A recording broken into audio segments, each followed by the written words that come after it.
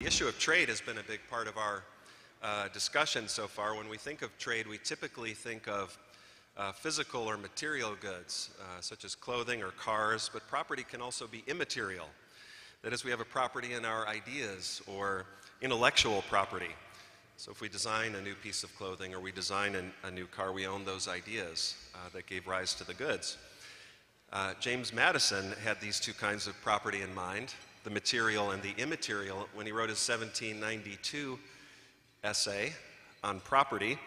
Uh, Madison there was discussing the individual's inalienable ownership of his own uh, natural rights, uh, with which we are, of course, all endowed by our Creator, including the right to use our minds and have opinions and direct our own free will. Uh, we might call it our, our first or foundational uh, intellectual property. Well, the theme for our lunch talk today is the theft of U.S. intellectual property. Uh, the issue remains one of abiding political importance. In August of this year, President Trump issued an executive memorandum related to China and the theft of intellectual property. Uh, well, to help us think through this vital topic, we are fortunate to have with us the acting chairman of the uh, Federal Trade Commission. She has uh, many years of experience working at the FTC and has served as a commissioner since 2012. A lawyer by training, she has previously been a partner at Wilkinson, Barker, and Knauer, uh, where she focused on trade issues, and she has clerked for Judge David B. Sentelle at the U.S. Court of Appeals for the D.C. Circuit. Uh, she's the author of a, of a variety of articles on competition law, privacy, and technology matters. And uh, she graduated with distinction from the Antonin Scalia Law School at George Mason University, uh, where she was also a professor, and uh, also graduated with honors from the University of Virginia. So if you would join me in welcoming to the podium uh, Maureen Ohlhausen.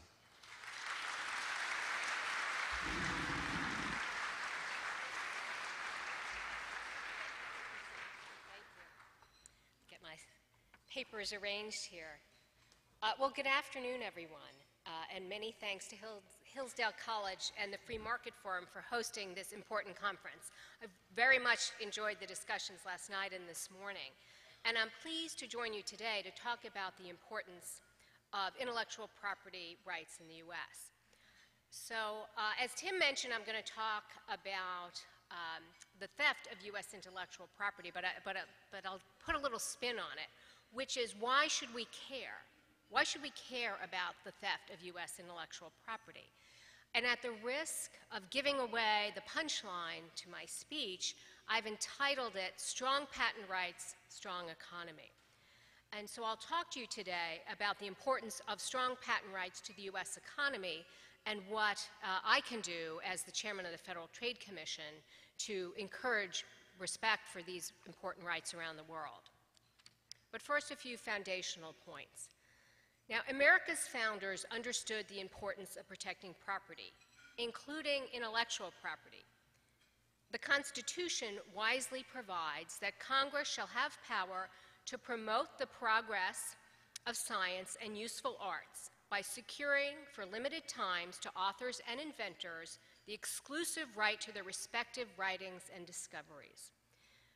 The U.S. Court of Appeals for the Federal Circuit, which handles patent matters in the U.S., observed that if one were to eliminate the right to exclude from the basket of rights attached to patents the express purpose of the Constitution and Congress to promote the progress of useful arts would be seriously undermined. Now, note the inclusion of useful arts among the drafters' goals. Their intent was clearly to entice inventors with the lure of exclusive rights. The Supreme Court recognized the important role of this system to provide an incentive to innovators, excuse me, to inventors to risk the often enormous costs in, in, terms of time, research, and development. The productive effort thereby fostered will have a positive effect on society through the introduction of new products and processes of manufacture into the economy. In exchange for this reward for inventions, the patent laws require the inventor to disclose his or her idea, so that after the period of exclusivity expires, the public benefits from knowing about the public can benefit from knowing about and using that invention freely. The founders knew then what some seem to be overlooking today. Strong intellectual property rights promote a vibrant economy by encouraging innovation. Despite the founders' wisdom and foresight, and an over 200 year history during which the United States, driven by technological innovation, emerged as the world's leading economy, a movement is underway to undermine U.S. patent rights. Op eds call for limiting patent rights. Reputable sources like The Economist magazine voice a, a skeptical tone. Some technology firms claim that patent lawsuits erode their R&D budgets and bottom line. And there have even been calls to abolish the patent system. Now, emerging economies around the world view these statements through their own prisms of history and economic pressure often citing them as justifications to disregard or diminish prote legal protections for U.S. proprietary, proprietary technologies in their own countries. Few developing countries combat piracy, for example. Now, some scholars assert that influential jurisdictions appear to use their antitrust powers not to protect competition, but instead to regulate the price of patent rights, and particularly U.S. patent rights. But supporters of inventors' rights shouldn't despair. The United States can continue to lead the way in protecting the rights of deserving inventors and encouraging other countries to do the same. As the acting chairman of the Federal Trade Commission, I have consistently advocated for, for protecting intellectual property rights, both domestically and abroad. Now, two fundamental principles guide my approach. First, strong patent rights are crucial to economic success. And secondly, for all you economists in the audience, economically grounded analysis will reveal the right path through the thicket of IP skepticism. And I look forward to discussing these two principles with you today. So, first, the importance of IP rights. Innovation drives the development of new and improved products and services.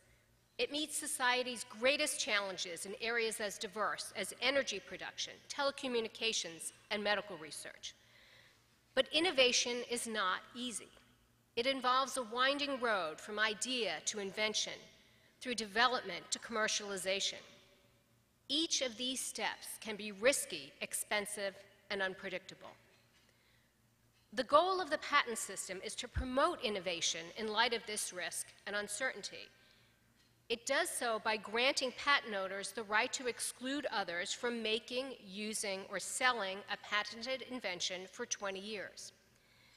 Patents create a property right for intangible ideas, which makes licensing them easier and facilitates the sharing of these technological ideas. This property right also protects innovators from copying that could drive down prices and deter future investment. These patent rights have real world effects. The United States government recently reported that IP intensive industries support at least 45 million U.S. jobs and contribute more than $6 trillion, or about slightly over 38%, of U.S. gross domestic product. Empirical research supports the fundamental role that patent rights play in promoting innovation. And I've written at length, most recently in the Harvard Journal of Law and Technology, about the positive correlation between IP rights and R&D investment in developed countries. So let me give you an idea of some of the research, the evidence that I found.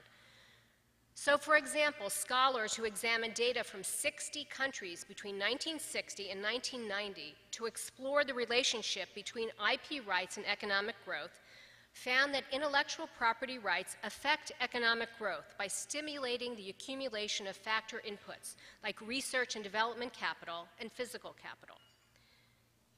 Other researchers scrutinized data on R&D investment and patent protection from 32 countries between 1981 and 1995.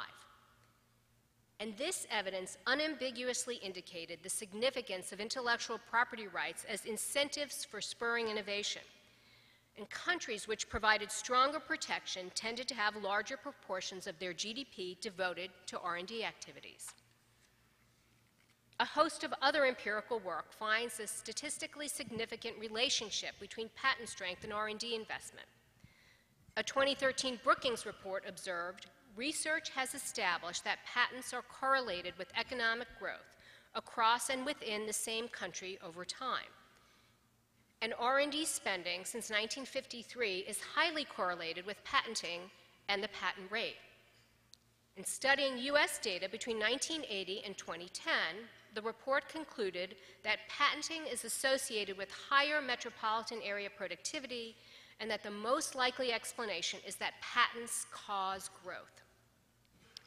Now, we also know that firms respond to changes in the strength of patent protection. A well known study, for example, examined the US semiconductor industry between 1979 and 1995. It found that large scale manufacturers have invested far more aggressively in patents during the periods associated with strong US patent rights, even controlling for other known determinants of patenting. So, the solid theoretical and evidentiary justifications for intellectual property rights don't mean that granting ever stronger patent protection will inevitably lead to even greater innovation. And there is a need to scrutinize the quality of patent applications and to calibrate appropriate compensation that should take into account the incentives that drive R&D in various settings. And some limited patent reform may also be appropriate to identify to address identified problems such as insufficient quality control, the broad scope of certain patent rights, and inadequate disclosure. Nevertheless, strong patent rights should remain at the heart of U.S. industrial policy. So now I'll turn to all this IP skepticism that we're experiencing today. Recent criticism of the patent system requires some explanation. What drives calls to diminish or even eliminate the US patent system? I think several factors are responsible.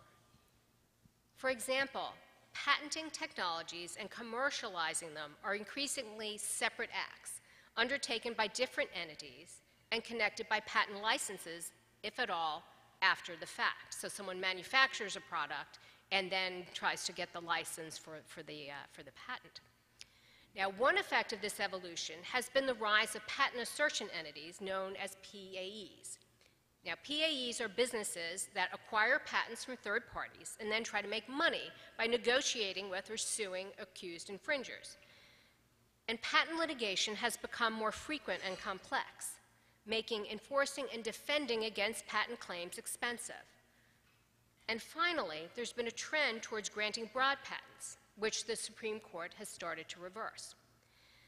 Now, the implications of all those factors are complicated. But even if today's patent system and associated litigation costs sometimes produce imperfect outcomes, they don't undermine the patent system's core function. Today's patent regime drives a varied, complex, and evolving array of technologies the markets in which novel products and methods arise are themselves changing. Now, of course, there are imperfections in how patents execute their mission, but some, such complications are no reason to abandon the patent system wholesale. Instead, policymakers should take an economically and empirically grounded approach to IP issues. And this view recognizes the many benefits of patent protection while accepting that some revisions may be necessary to promote innovation. So I'll describe two recent FTC initiatives that exemplify my position. In the first, the FTC gathered extensive empirical evidence to support carefully tailored recommendations. And in the second, no evidence supported a substantial change, and I advocated for the retention of traditional intellectual property principles. Now, the first initiative involved patent assertion entities, uh, as I already mentioned, PAEs and they do not create IP themselves, but, but rather buy and license patents to manufacturers and others, and their activities create strong views. Some commentators decry PAEs as high tech extortionists that tax innovators. But others respond that PAEs create patent licensing markets in which individual inventors can monetize their technologies and manufacturers can secure the permissions they need to sell their products lawfully. But claims on both sides, however, have been light on facts and rather heavy on aspersions. And that is why I supported the use of the FTC's research authority to study PAE markets and produce a report, which discloses previously unknown facts about how PAEs operate. Now, the report um, advances our understanding of PAEs and their role within the patent and innovation system. It was a case study and it covered PAEs that may account for over 75% of all U.S. patents held by PAEs at the end of 2013. Now, it's full of relevant findings of unavailable in other studies. And while I can't discuss all of them here, after all, this is just a lunch, uh, a few conclusions are worth noting for their contribution to larger policy discussions. For me, the standout conclusion was that there was no single PAE business model.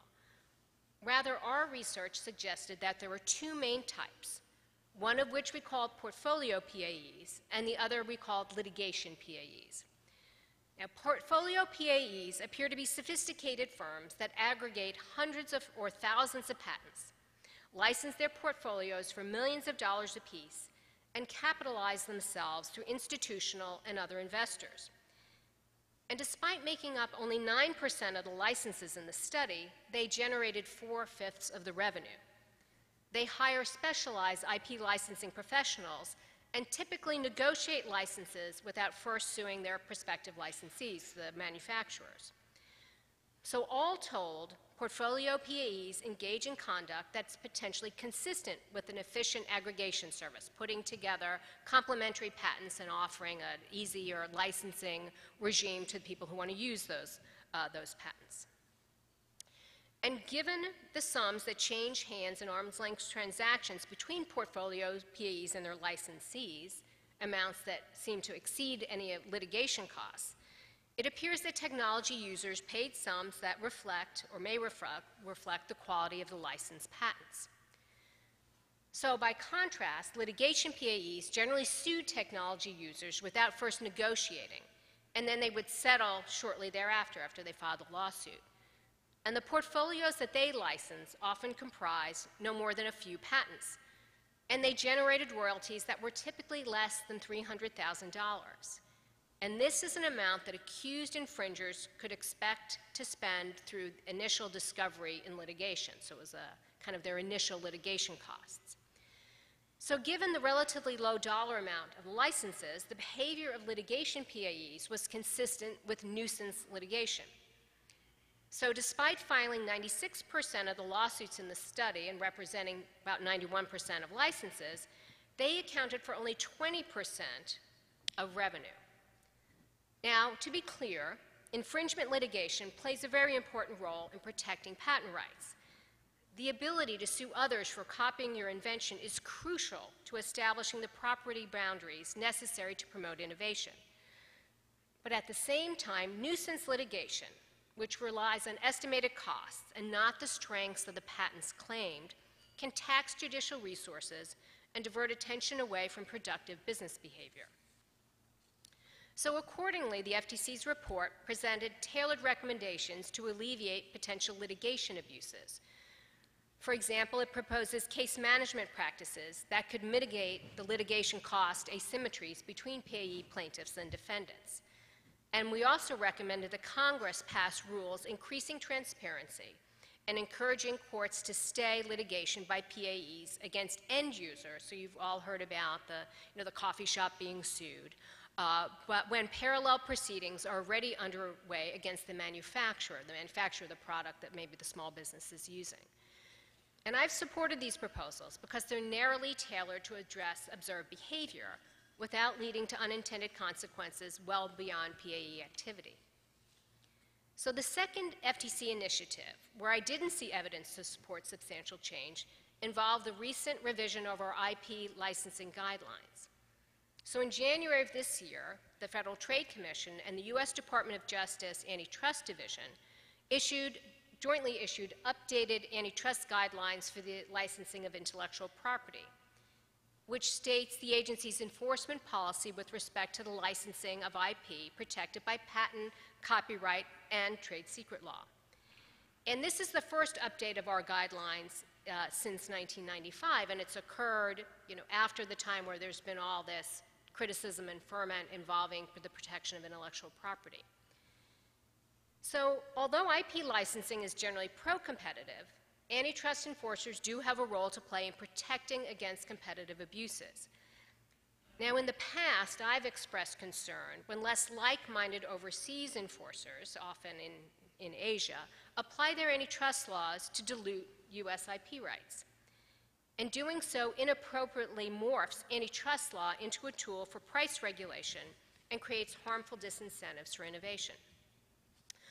I'm pleased to say that the 2017 guidelines exemplify my approach to antitrust IP issues and offer reasonable guideposts. More importantly, the new guidelines continue to affirm that IP law grants enforceable rights which have social value. And they also state that antitrust laws generally do not impose liability upon a, a firm for unilateral refusal to assist its competitors. So, read together with the FTC and DOJ's 20, uh, 2007 IP report, which stated that liability for mere, mere unconditional unilateral refusals to license will not play a meaningful part in the interface between patent rights and antitrust protections. It's clear that the guidelines will continue to protect strong IP rights in the United States.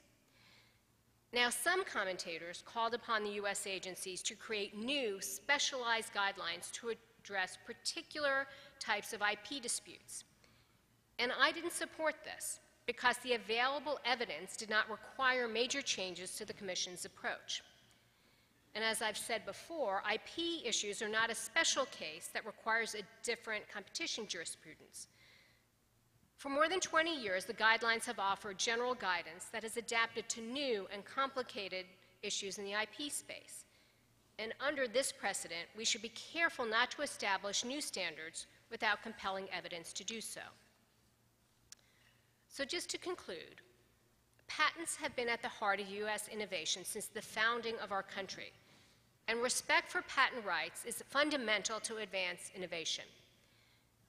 The United States is more technologically innovative than any other country in the world. This reality reflects, in part, the property rights that the U.S. government grants to inventors. Still, some foreign counterparts take or allow the taking of American proprietary technologies without due payment. For example, emerging antitrust regimes view unfairly high royalties as illegal under their antitrust laws. And the FTC's recent policy work that I've just mentioned offers an important counterweight to this approach, illustrating the important role that patents play in promoting innovation and benefiting consumers. In closing, while we may live in an age of patent skepticism, there is hope. Criticism of IP rights frequently does not hold up upon closer examination. Rather, empirical research favors the close tie between strong IP rights and R&D. But this isn't to say that changes to the patent system are always unwarranted. Rather, the key to addressing the U.S. patent system lies in incremental adjustments where necessary based on a firm empirical foundation. So the U.S. economy stands as a shining reminder of everything that American innovation policy has achieved. And intellectual property rights and patents are the important cornerstones of those achievements. So thank you for your attention, and I look forward to addressing your questions.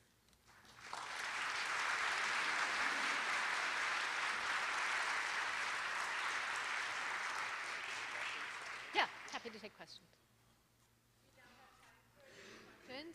Please raise your hand and the microphone will be brought to you.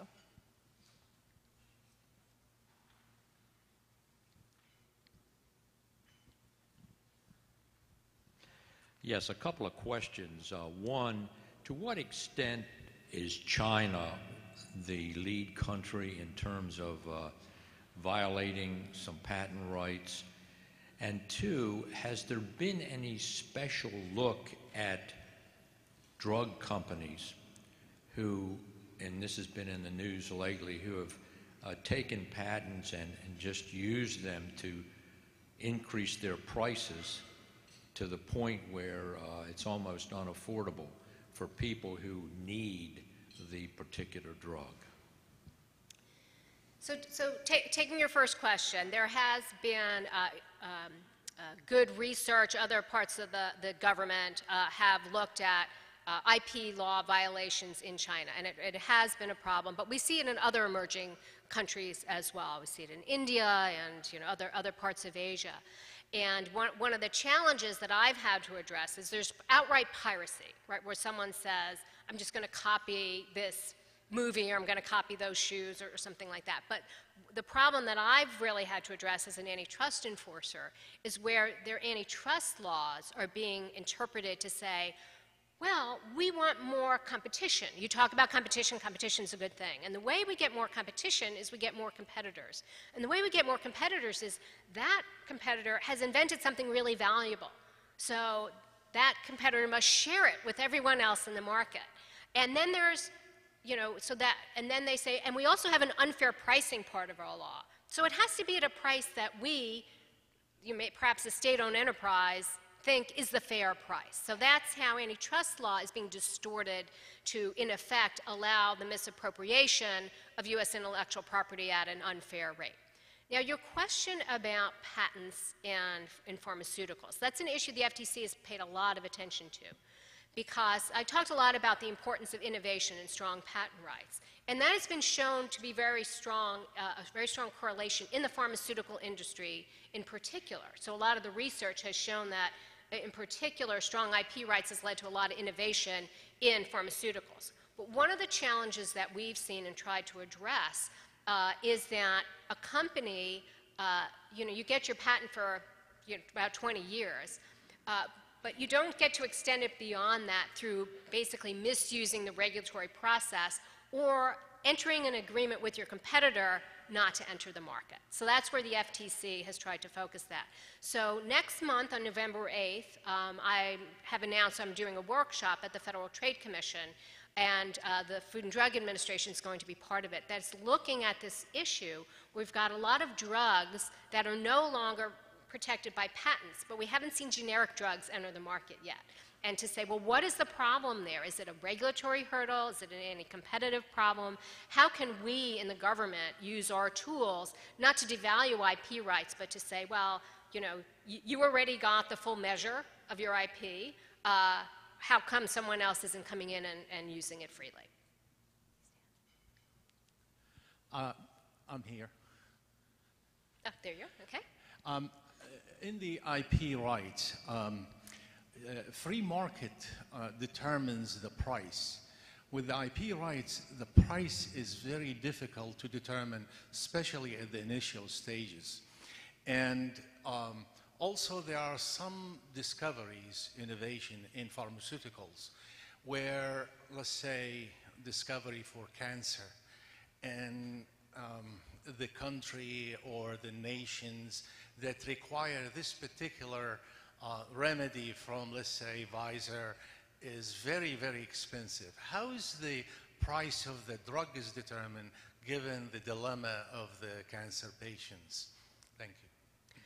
So uh, the question about the inventor, right, of a very uh, valuable technology, whether it's in pharmaceuticals or it's in some, you know, other technology, the idea that they are able to get a high price for that because it's a product a lot of people want is a, a, fundamental part of our IP rights system. So the Supreme Court has talked about this, that you need to allow monopoly profits to occur to address, to attract uh, uh, investment and innovation in an area. I think some of the, the problems occur, though, when you have either an anti-competitive situation going on, as I said, where someone has entered into some sort of anti-competitive agreement to preserve their monopoly beyond the time period that it was granted under, uh, you know, under our patent laws.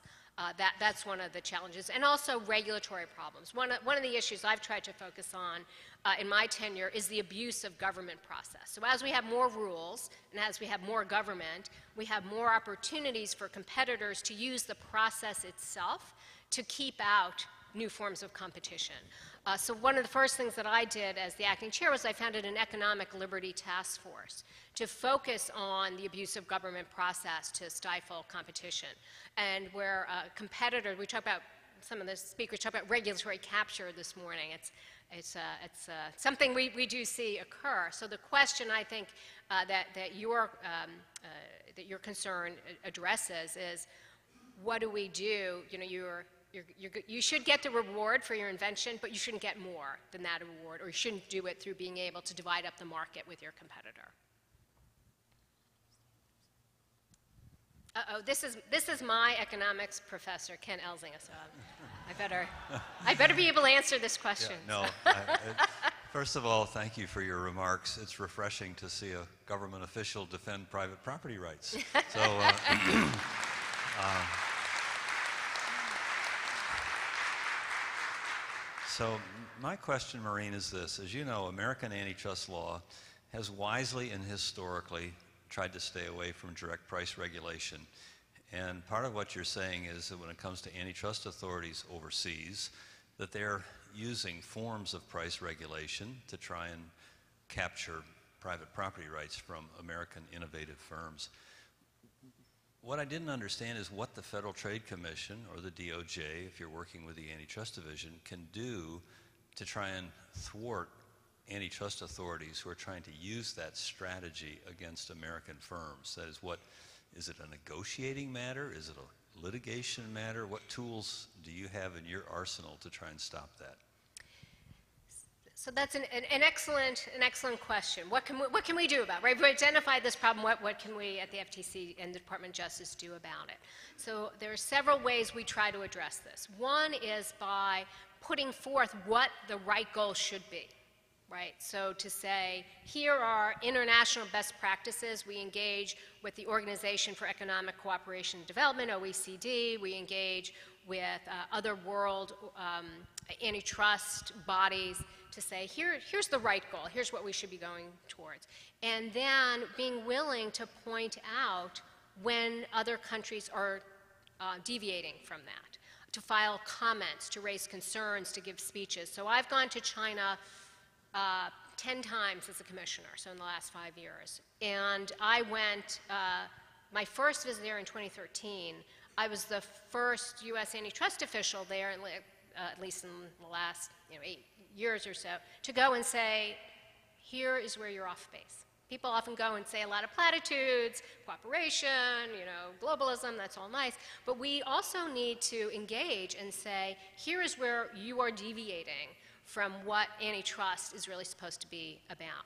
I, I think one of the other things um, is to explain to them why it's not in their interest. So a lot of the um, a lot of the empirical work that I've done is to show this strong correlation between protecting IP rights and having an innovative economy.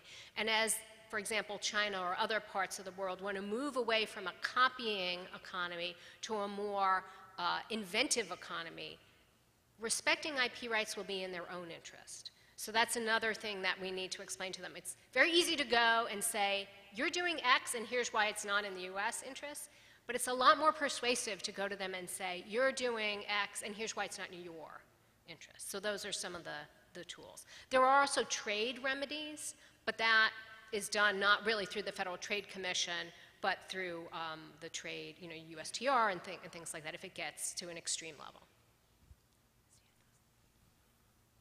Okay, as an economist, I'm kind of of two minds on patents because on the one hand, patents encourage innovation. That's cool. On the other hand, patents create monopolies. I hate that. So one interesting kind of remedy that I've heard about is the idea of a patent buyout where if the government recognizes as a really valuable patent that some firm holds, and it could be beneficial for other firms to get a hold of that technology, the government could basically come in, give that firm the capitalized value, and then put the uh, innovation or the technology into the public domain for all to use. So we still have the incentive effect of patents, and then we would limit, tend to reduce the monopoly effect. I just like to hear your comments on that idea. I think that view has a lot more confidence in the ability of the government to second guess the free market than I would feel comfortable in. Uh, and, and I think it also mixes up this idea that monopolies are, are bad. Uh, you know, a monopoly that isn't achieved through superior innovation and through, uh, you know, giving a better product to customers, you know, that, that, you know, that's not great. But a monopoly that's achieved through doing a better job and giving people what they want um, is, is really the reward for that, for that innovation. So I think that um, view mixes up static and dynamic competition, right? So you're saying, oh, it's my explanation of, you know, oh, there are 10 competitors today and everyone has to share for that product. But who's going to go and invest to create the next best product, the next product that's going to revolutionize uh, the industry if they have to share it with, with everybody? That I think when you look at it in that way, you realize how you're, you're undermining incentives to create. And so going back to pharmaceuticals, uh, there is not a whole lot of pharmaceutical innovation occurring around the world. It's really occurring in the US, where a company that invents that new blockbuster drug that makes us all better off uh, can reap the rewards for that. We have time for one more question. Uh, Yes, uh, this relates to the Trans-Pacific Partnership, which, um, of course, became a great political football, um, was kicked around uh, and uh, um, uh, was succumbed in the last election and so forth. But, but part of the TPP was designed to um, uh, stabilize or strengthen intellectual property rights, um, to, which would have been uh, apparently greatly to the benefit of American firms. Uh, at, at least that's what I've heard. Now, you're, you would know more about this than, uh, than, than what I've heard. Um, so, um, uh, how important or, or, or how problematic has the failure of the TPP to move forward uh, been for enforcing American intellectual property rights internationally, and what can be done about that? So, I'm not a, an international trade expert, so I'm a, an antitrust uh, expert, but I do think one of the challenges is where you know, we really need to be alert, right? So you might say you have a, uh, an agreement that prevents piracy, right? So piracy, that's not like, you know, just outright copying, not, not permitted. But what are the other regulatory or, or legal tools that can be used to achieve the same goal without calling it piracy? And so that's really where I focus my attention on this um, reinterpretation of what antitrust law is supposed to be about to achieve the bad ends that were prohibited in things like TPP. And we have seen this um, problem occurring throughout um, you know, Asia, India, you know, some other parts of the developing world where antitrust now is being morphed into this tool to allow for sharing at a government determined price, not a free market price, for, uh, for this important technology. So. Thank you.